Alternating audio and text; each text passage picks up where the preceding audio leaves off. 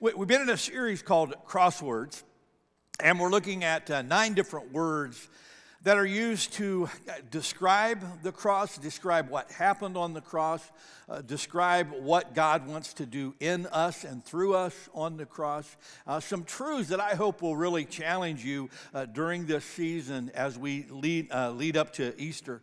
And uh, today, I want to I wanna look at a word, and, and I believe that this, of all the ones that I've talked about, this is probably going to one be the one that's going to push on us maybe the most in our own journey of faith.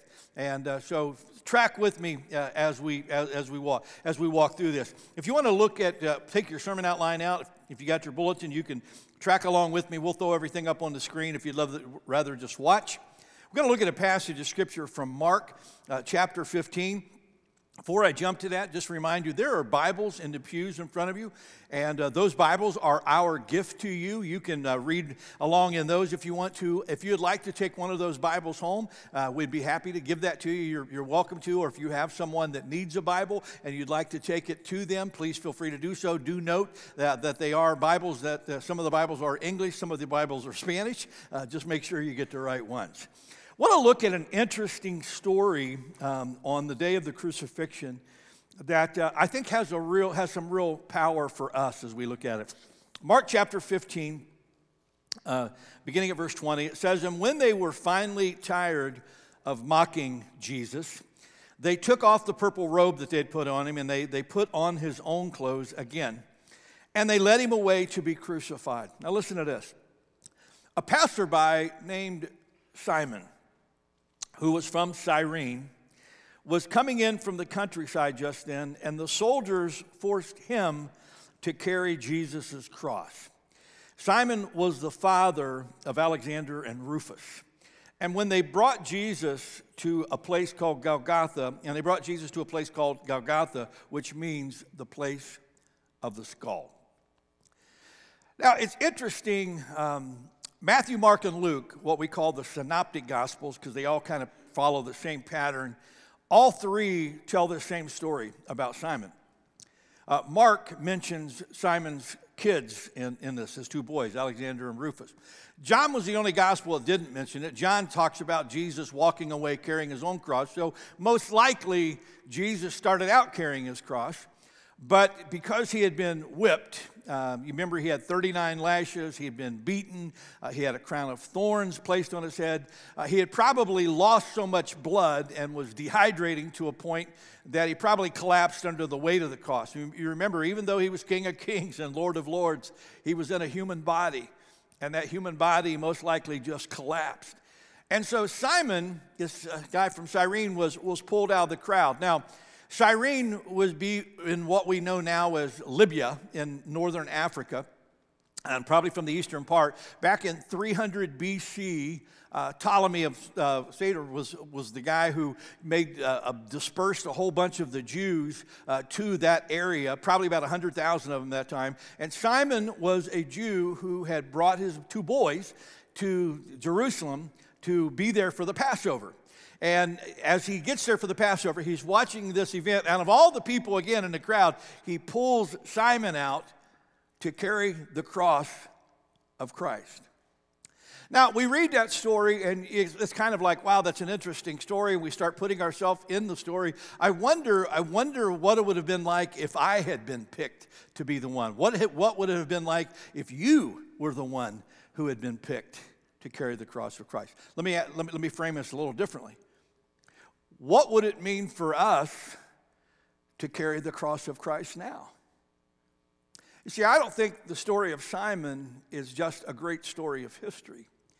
I think it's a great picture of the walk of faith that God calls us all to. The word I, I want to look at today is the word partnership. Just think this thought with me. Jesus wouldn't have gotten his cross to Calvary unless Simon had partnered with him.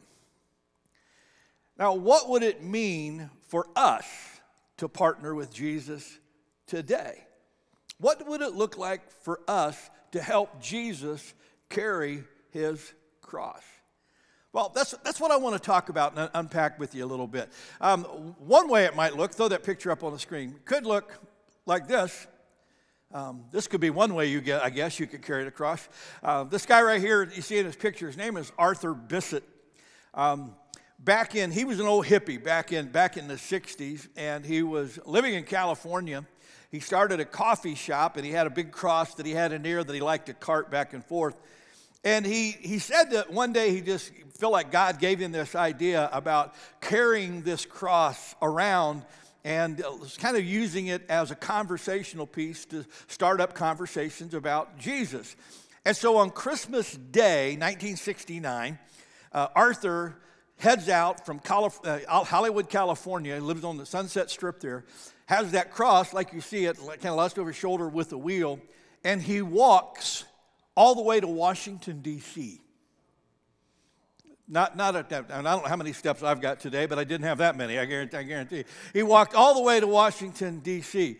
And he got there, and he, he had a lot of time to, along the way to have conversations with people. He had an opportunity to preach in churches. He got to talk a lot, of, a lot about his faith in Christ, why he was doing what he did. And it kind of became his ministry. And he kept doing this. Are you ready? He kept doing this for the next 50 plus years. In fact, I know as of at least last year, 2022, he was still doing this. Arthur has walked in every country on the planet. In fact, every major island group on the planet. According to his calculations, he's logged over 43,000 miles carrying that cross. Now, that's one way you could do it. And if you're like me, I could probably use the exercise. You know, that would, that's probably one way to do it. But I think there's probably a more, a more practical way, maybe even a more useful way that God would want to challenge us. Now, here's my thought today, and I just want you to keep this question in the back of your mind. What would it look like for me to partner with Jesus in carrying his cross? Pastor Steve, how could I do that? I'm glad you asked. Are you ready? I'm just going to give you a few ways that you can put this into practice. Here's the first one very simple be a vessel of Christ's healing love. You can carry the cross by being a vessel of Christ's healing love. You know, two weeks ago, when I started this series, you remember I talked about the first word that we used was the word love. If the cross was about anything, it was about this demonstration of God's great love for us. Oh, don't miss this. For God so loved the world that he gave his one and only Son, that if anyone would believe in him, they wouldn't have to perish, but that they could have everlasting life. For God did not send his Son into the world to condemn the world, but that the world through him might be saved. Here's the good news, folks it doesn't matter who you are, where you've been, what you've done, or how long you've been there, God's great arms of grace reach out open to you. And he's willing to forgive you of your past simply because he loves you so much. That's what the cross was all about. When Simon picked up this cross and carried it for Jesus, he was carrying the greatest symbol of love that the world would ever know. Now, think this with me. You get the chance to do that. Not just on one given day, like Simon, you get the chance to be a vessel of that love every single day to a few different people. Can I give them to you? I, I, was thinking this through, and I just it just blew my mind how many opportunities are to do this. Let me just give you a few. You can be a vessel of Christ's love to those who are hurting. To those who are hurting. I, I love what Jesus, what the, what the Gospel of Matthew says in, in Matthew 9 when it talks about how Jesus looked at the crowds of people. And it says, And what pity he felt for the crowds that came. Read it out loud with me because their problems were so great and they didn't know what, what to do or where to go for help. They were like sheep, like a, like a sheep without a shepherd. Now, just look at me for a second. Where can you find hurting people? Not a trick question. Everywhere. Everywhere. You see this crowd right here today? If we're honest, there are a lot of us right here who are hurting. You see, everywhere you go this week, doesn't matter to school, to work, to Walmart, it doesn't matter where you go. Here's what I can tell you without hesitation there are going to be hurting people everywhere you go. And there are, they are people who need someone to demonstrate that love of God to them. You know, this, this last week, I was, in, um, I was in Myrtle Beach, South Carolina, Monday, Tuesday, Wednesday. I posted that on Facebook, Suffering for Jesus, there on an, you know, an oceanfront resort. And, um, but I, I, was there for a pastor's retreat, or a group of 50 to 60 pastors and wives, and they had asked me to come and be their speaker for, for the few days. And um, I had the, the greatest thing about doing that kind of stuff are these conversations that I get into with the people while I'm there. And I'll never forget one, one uh, of the, of the uh, services that we had. After the service, I was just talking with different people. And I had one of the pastors who came up to me and he said, Can I talk to you for a second? And I said, Sure. And we kind of stepped to the side. And this pastor just began to pour out his heart about all this stuff that he was dealing with and the weight that he was carrying and the pain that he was in. And, and, and, and again, see, what's funny is who do you talk to when you're a pastor? You know, I mean, I got the, I'm so blessed, I'm married to a therapist. I mean, every, y'all, y'all appreciate this. Every single day after dealing with you, I get to go home and lay on the couch. Now, for those of you who, who may see Wanda, you know, I think she charges 50 bucks an hour at, at the most. She gets my whole paycheck, you know what I'm saying? So that take about it. But, but, you know, pastors, they, they feel like there's no one to talk. And I stood there and I listened to this pastor just walk through this. And, and as, I, as I listened to him and I tried to empathize with him and I gave him some counsel, I just put my arm around him and I said, Can I pray with you? And as I prayed with him, this pastor just stood there and bawled like a baby. And it reminded me it doesn't matter who you're with, it doesn't matter whether, whether they are people who don't know God, whether they are people who you think are nominal Christians, or whether they are pastors like me. People are hurting everywhere you go. And a part of the way that we help carry the cross of Christ is to get up in the morning and say, Lord, I'm going to run into some people today who have some pain that I don't know anything about. Would you help me be your vessel of love? Amen? Does that make sense? And, and another group of people, and, and, and you, some of you can really appreciate this, is, to those who are hopeless. Those who are hopeless. You know, I wrote the other day in one of my, my daily devotionals that I write, I, um, I, I, wrote about the, the idea that how thankful I am that God didn't give up on me. How many of you are thankful for that too? God didn't give up on you because there's so many times in my journey, you know, that I, I hear that voice in my ear, you know, you're not worthy, you're not able, you're not, you know, blah, blah, blah, blah, blah. And, and, and there's so many people I talk to, that's, that's their story, you know, and some of, a lot of us have had people who have given up on us. And, and I just thought about the fact that you and I are going to run into people and they think they're hopeless. They think they've trashed their lives too badly. They think they are beyond the grace of God, that they are beyond the love of God. They are people who have had people in their life tell them, You're, you're worth nothing. You know, I, I quit. And some, some, some of you, some of us, we're going to run into some of these people, and they need someone who can let them know God will never give up on you. And you know what? I'm not going to give up on you either. I'm not going to give up on you either. You know, when I was, when I was writing this, I, I thought about um, Levi in Matthew 5, who was a tax collector, and how he, he, he followed Jesus. Jesus said, Follow me, and he leaves his accounting desk and he follows Jesus. And it says that night, Levi has this party at his house, and he invites all of his friends who were the, the biggest sinners in town. And he's got all these people, and it talks about, you know, one of the translations calls them famous sinners. I would like to be known as a famous sinner, notorious sinners.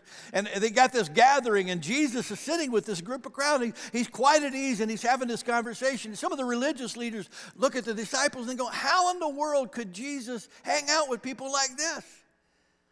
And Jesus hears this, and he says, Are you kidding me? This is the reason I came. Healthy people don't need a doctor, it's sick people. The impossible people in your life, they are the ones who need the God of the impossible. Amen. Grace that is greater than all of our sin. I love how Paul said it in Ephesians 2. He said, You know what? Talking to us, in those days you were living apart from God. Read it with me. You lived in this world without God and without hope. And you can be that vessel of love to some of those people. Here's the third one, and these are even more challenging for us. We need to be that vessel of love, of Christ's love, to those who are hard to love. People who are hard to love. Come on, it's church, great place to confess. How many of you be honest enough to admit you've got some people in your life who are hard to love? Yeah. How many of you brought them with you this morning? Yeah. Yeah. yeah. Yeah. Yeah. Yeah. You know, it, it's, it's true. We have these people. You know, I, one pastor said, you know, I would love ministry if it wasn't for people. You know, I just, because people can be so annoying. I, I, I, laughed. I, I read this article, this news article a, a few months ago, and it was talking about this guy in Dublin who lived not too far from the Dublin airport. And the company that kind of oversees the Dublin airport, they had a line, a, a number that you could call to complain. Now, how many of you got some chronic complainers in your life? Anybody got? Yeah, yeah. You, you kind of somebody. They're here. I can't. I can't say that, but they're. They're. You know, I, I, this was so crazy. In 2020, think about this. This guy called the airport hotline to complain 6,227 times. Now, if you do the math, that's 17 times a day in 2020. He called to complain about the noise, and the airport responds to every single call. Well, you think that's something. 2021, he called 12,272 times, or 34 times a day.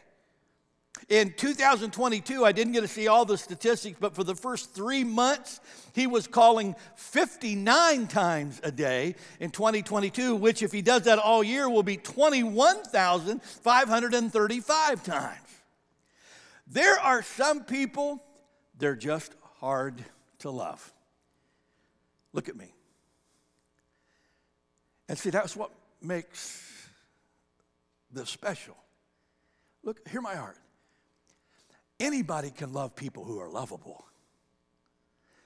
Anybody can love people who are easy to get along with. If you want to really challenge your heart with this, go back and read Matthew 5 again. Because Jesus just gets right in our faces about this, saying, you know, if you only if you're only nice to the people who are nice to you, what good is that? Even pagan people do that. Look at the passage of scripture, Matthew 5, that I give you there. Jesus said, read it with me, church. You have heard the law that says, Love your neighbor and hate your enemy, but I say to you, Love your. Now, circle the word enemies. And when you're home in a private place, you might want to write some names down right there. Because there are some people in our lives that God is challenging us to love. Because that's what it, look at me, that's what it means to have a cross carrying love. Can I give you a second thought? That's probably enough to go home and camp on, isn't it? But let me, let me give you a second thought that I had. When we talk about carrying the cross of Christ, it also means to be an agent of Christ's transforming grace. To be an agent of Christ's transforming grace. Simon had no idea the significance of what he was doing. He, all he knew was that these Roman soldiers made him do this, so he's carrying this cross of Christ to Golgotha. But it was through that crucifixion that God's grace was poured out upon the world. You remember the old song? What can take away my sin? Nothing but the blood of Jesus. What can make me whole again? Nothing but the blood of Jesus. Simon, in this moment of history, partnered with Jesus in helping to save the entire human race. Oh, please don't miss this. And you get a chance to be a part of that every single day. You see, Christ is the one who does the saving, but we are the vessels through which his grace is poured out upon people. Look at this passage of scripture. Let this challenge your heart. When Paul was writing to the Corinthian church in 2 Corinthians 5:20, here's what he says. Read it with me. So we are Christ's ambassadors. God is making his appeal through us. We speak for Christ when we plead, come back to God. Now, when I was camping on this thought, the thing that hit me was can you imagine how scared Simon was when they pulled him out of that crowd? I mean, he didn't know, you know, what all was going on, but he knew he was going to carry this. These soldiers are, are intimidating. They, he didn't know what they were going to do to him. So he, I mean, he's scared to death carrying this thing up the mountain. And, and it hit me uh, of all the things that we are afraid of as Christians, can we be honest? There is probably nothing that scares us more than the idea of sharing our faith with someone else. I'm, I'm sure of that. Why? Because we don't do it. Here, think about this. Paul says we're ambassadors for Christ. We, we are the only way that people are going to know about Jesus. We often, as Christians, complain about the, the downhill trend of this world. And, you know, you, you, you read it on Facebook, oh, the world's going to hell in a handbasket. And it's true. Look at me. But we're the only people who can stop it. We're the only people who know, have the knowledge and the understanding to, to share with them that you don't have to go to hell. You, you can embrace God and go to heaven. There, there is, we are the agents of God. Now, I know that scares you. And, and we think of a thousand reasons why we can, oh, I don't want to offend anybody, and you know, I don't want to, you know, I don't know that much, and what if they ask me a question I can't answer? You know, what, you know, and we, we, we think of all these reasons why we can't. But here's the deal, gang we have to. That's a part of what it means to carry the cross of Christ. Now, I, I, just want to give you just a couple of thoughts. I want to make this really easy for you. And you know, we got to find a way to overcome our fear. And you don't have to become a Bible scholar. You don't have to become, thankfully, a pastor. You don't, you don't have, to, but here, here are a few ways that we can do this. I give you three words on your outline there. The first word is share. And here's what I mean by that you can share your story. You can share your story. I had three different people this week that I sat with, and I said to them, Tell me your story. And it was so interesting because one person, um, when they were talking to me, we were just talking about, you know, kind of having a life a long way from God and, and how they've struggled. And, you know, and they were, you know, they were hesitant to, to tell me what they were going through and all that kind of stuff. And, and you know, they come to our church. And, and they were they were going to this and, and you could tell they were they were struggling like you know I'm the only one in the audience who's got a story like that and and, and I looked at them and I said oh no you're not I said, I know a lot of stories that sit in our church every single Sunday, and, and, trust me when I say they're, they're not all pretty stories. But here's the deal look at me, don't miss this. People need to hear your story. Whatever your story is, we all have a different one, but people need to hear your story. Your story is the most powerful piece that God has given you. There is nothing more uh, moving for people than a testimonial. I can, I can give people, you know, uh, an hour's worth of theology, but I promise you, put one person on stage who shares their story of God's redemption, and it's 10 times more powerful than anything I've said. I, I love it. In John chapter 9, there's a guy who was born blind. Jesus heals him.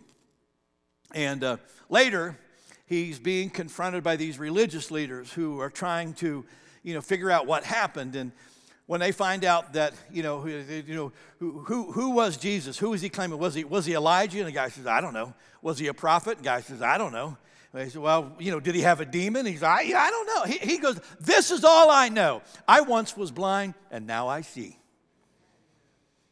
Now, you, you don't have to be a scholar. You, you don't have to, you know, have a whole lot of Bible background but you can tell people your story of what God's done for you. And your story, I promise you, will touch and change the hearts of people if, if you're willing, as God leads, to simply share your story. There's a, a second word there that, that scares us a little bit, and it's the word invite. You, you, can, you can be an, an ambassador for Christ by simply, by simply inviting people to church. Did you know that 75 to 90% of the people who come to church and come to Christ come because a friend, relative, or neighbor invited them? So here's the question Who have you invited? It's not that hard to invite a neighbor or a family member to church. It's not that hard to invite them to an event. That, that, that it's through a simple invitation, people's lives can change. Um, got a great picture of this. Throw that picture up on the screen for me. Um, this is last year in April, we had a, a youth group reunion. Uh, Steve Cottom, a member of our church, uh, Steve was in sixth grade when I came here in 1981 to be the youth pastor. And uh, through those years, uh, we had some, some incredible kids and some incredible things happen. Steve and uh, three other kids in my youth group came to me one day uh, after I'd been here for a year or so and they said, We would like to have a boys' basketball team. And I said, Fantastic. I, I love basketball. You know, I'd love to have a boys' basketball team. Here's what I need I need eight guys who are committed that will come to church once a week, either Sunday morning, Sunday night, or Wednesday night, and those same eight guys who would be willing, who would be committed to come to a practice. I've got the church van, I'll pick them up, but I need, I need their commitment that they'll be there. These four guys looked at me and said, Well, there's only four of us. I said, That's your problem. So, what did they do? They went out and they started inviting their friends. Hey guys, would you guys like to come uh, be a part of this boys' basketball team? And some of those friends started coming, and those friends invited friends, and some of those friends invited girls, and some girls found out we had some boys in our youth group, and they started they started coming. And, I, one day when we sat down and started counting names, I, I, think we were like 33 or 34 kids that we identified that came to church because of an invitation from one of the kids in our youth group to come and be a part of the basketball team or came during that, during that time frame. Last year we had this reunion and we had a group of them. These are several of the people from that youth group and from their and, and their families. But I can point out in this group right here 10 different individuals who came to our church, came to Christ. Some of them ended up going into full time ministry. Uh, some who are active leaders in their church today. Uh, I can point out 10 different kids who came, all they, they, their lives were changed, all because somebody invited them to come to church. It's not that hard, but it makes a huge difference. And the third word I give you is the word connect.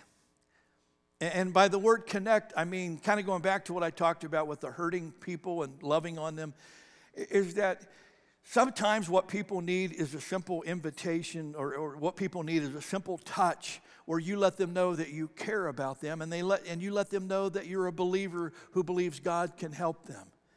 Um, I can't tell you how many times I've been in a conversation with someone that I didn't really know. And somewhere along the way, they, they start telling me about some of the things that they're going through. And as I listen, I say, Can I pray for you? And in 43 years of being in ministry, I've only had one time when someone said, No, I'd rather you not. But all the rest of the times, people said, That would be great. Now, here, I want you, please want you to hear my heart. This is why I want you to learn this, the simple skill of praying out loud. Because if you came to me out in the lobby and you told me, like between services, someone did and came to me and said, I'm, I'm dealing with this tomorrow, um, would you pray for me? I can say, I'll pray for you, and you'll nod at me and you, you'll feel it. But what I said to them is what we can say to people is, How about if I pray with you right now? And I just put my hand on their shoulder and I pray a very simple prayer that sounds something like this Lord, you know what they're facing, you know what they're going through, and you know how afraid they are. And Lord, I pray that you would remind them today that you will never leave them or forsake them. And we believe that you're going to have your hand upon them and see them through. In Jesus' name, amen. Look at me. You can't miss this. A 30 to 45 second prayer can change someone's life. All you got to be is just simply bold enough to ask for the privilege of praying. Does this make sense to you? Share your story, invite them, and connect. Let me give you one last one. Another way that we carry the cross of Christ is by being a model of cross carrying faith in Christ. Being a model of Christ cross carrying faith in Christ. when Simon was carrying the cross of Jesus up that hill, he, he had no idea that this was actually going to be the picture that Jesus was going to use for all time of what a true, uh, true disciple would look like. Uh, look, look at what Jesus said before he was ever crucified. Look at, look at what he says in Luke chapter 9. Then Jesus said to the crowd, read it with me. If any of you wants to be my follower, you must give up your own way, take your cross daily, and follow me. In other words, Jesus says this is what it really means to be a, a, a disciple of mine. Now, we, we don't really know what happened with Simon after the crucifixion. We don't really know. But if you connect the dots in the scriptures, you, you can see some things where of what might have happened. In other words, in Acts chapter 2, um, you, you, find when Peter was preaching, it says, and some of them, uh, people who were hearing, were, were just blown away by what Peter was saying, and 3,000 people got saved and baptized that day. And it says, and some of them were men from Cyrene.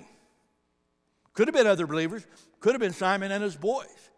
Uh, you, you, find later in, in Acts chapter um, 11, I believe, uh, you find uh, some, some guys from Cyrene at Antioch uh, preaching the, to the Greeks, you know, and it could have been anyone, but it's possible that it was Simon and his boys. His boys would have had to have been teenagers to, to be able to even go to Jerusalem with him like that. You find in, in, in Romans chapter 16, now what's interesting, Mark's gospel, almost all scholars agree, Mark was writing to the people in Rome. Look at what Paul, in his letter to the Romans, said in Acts chapter 16. Read it with me. He says, Greet who? Rufus, whom the Lord picked out to be his very own, and his own dear mother, who has become like a mother to me. In other words, here you see Rufus, one of the sons. Now, it's possible it was a different Rufus, but why would Mark take the time to identify Alexander and Rufus if, if, if later that this wasn't this guy? And all I want to say is that it's obvious that Simon's life was much more than that one moment of time. Now, here's why this is so important when we talk about what does it mean to, to truly be a Christian, we, we hear things like, well, just make a decision for Jesus. Look at me. This thing is much more than a decision. It's much more than just a decision. Jesus said, pick up your cross daily. Follow me. Deny your own life. Set what you want aside to choose the agenda of God. Now, here, here's the problem. I put this on your outline when I there, there are some of us that would call ourselves, we're believers. What do you mean? Well, I, I believe there was a Jesus. That's really great. James, in his epistle, says, even the demons believe.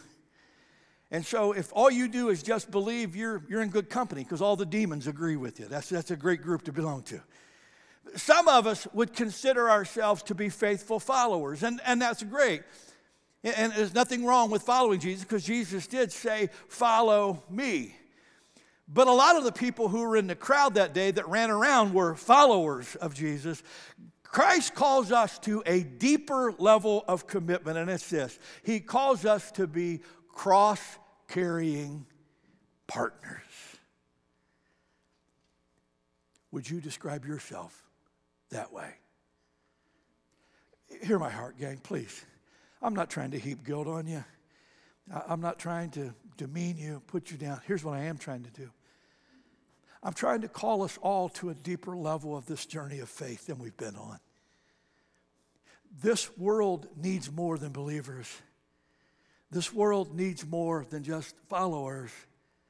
This world needs some people who aren't afraid to pick up the cross of Christ and follow him, to live lives of distinction. Does this make sense to you? And my question to us today would be this What's keeping us from being a cross carrying follower, a cross carrying partner? What's keeping us from being that? I'm going to ask my prayer partners to go ahead and come on down. And this morning, I've asked Rachel to lead us in a song. It's a beautiful, beautiful old song from Hillsong. It talks about lead me to the cross. It's just got beautiful words to it. And This morning, I don't know how you might need prayer today. Uh, you may need prayer for something going on in your personal life or something that you're facing, and you'd like one of the prayer partners to pray with you about that. That'd be great. There may be some of you, you feel God kind of pushing on you to, to, to go deeper, uh, to, to stretch higher. And this morning, if you would like one of our prayer partners to pray with you about that, you're more than welcome to come, and any one of them would be happy to do that. Some of you may want a moment alone, and the altars are open. If you just want to come and just kneel before God and say, Lord, you know my heart, you know what I'm struggling with, and I just want to have this moment with you. Or you can pray right there in the pews. It doesn't really matter to me.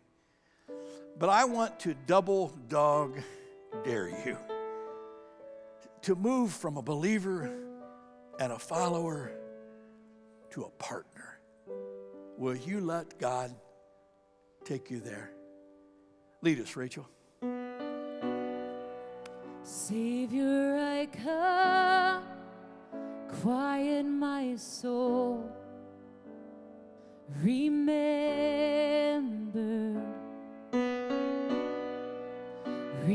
redemption's here where your blood was spilled for my ransom. Everything I once held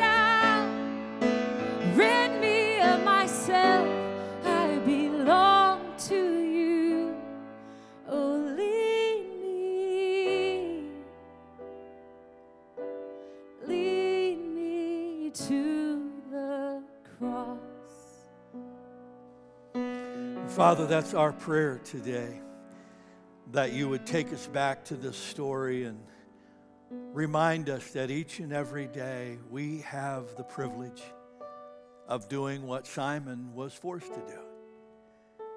We can carry your cross. Lord, we are saved only by your grace. We are right with you only because you laid your life down for us. So teach us how in like manner to lay our lives down for you, to let ourselves be vessels of your love everywhere we go for the hurting people, for the impossible, hopeless people, and for the people who are hard and difficult to love. Help us be your ambassadors, Lord, to share our story, to invite, to connect, to let your spirit move through us as we would invite people to come to know you as we have come to know you. And, and Father, we pray that you would change us to live lives of distinction. Uh, Lord, we don't, we don't have to be hokey or cheesy. We don't have to carry 50 pound Bibles and wear big cross medallions around our neck. But Lord, I pray that you would help us to live such lives of character and integrity and empathy and selflessness that when people see us, they notice the difference. Lord, you say that our lives should be attractive to people. And we pray that you would help us to rid ourselves of anything that gets in the way of that, that we might carry your cross with honor. Lord, we love you. Thank you for the way you laid your life down for us. Help us pick up our cross daily and follow you. In your precious name we pray. And everyone said, Amen. Amen.